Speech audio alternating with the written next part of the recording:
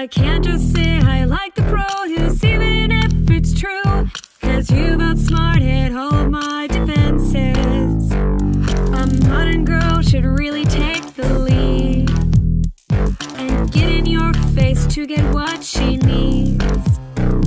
But wouldn't that be creepy?